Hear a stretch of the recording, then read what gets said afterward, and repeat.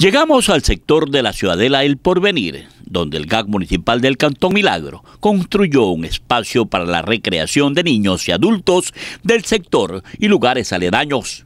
El área para la práctica de ejercicios que estimula un mejor estado físico para las personas es una de las más concurridas. Todos quieren disfrutar de un momento de distracción. Ahora echamos nuestra mirada a la cancha deportiva del espacio de la Ciudadela del Porvenir.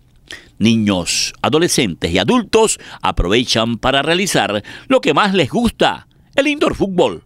La iluminación es buena, permitiendo una buena visibilidad a la cancha de uso múltiple. Luego miramos el lugar donde se ubican los juegos infantiles. Los niños se contagian de alegría y disfrutan a placer. Pero todos los que asisten deben de cumplir con algunas reglas para la preservación del lugar y que la operatividad de los juegos sea duradera. Así de vistoso se observa el espacio para la recreación de la Ciudadela El Porvenir construido por el GAC municipal del Cantón Milagro, que lo preside Denis Robles.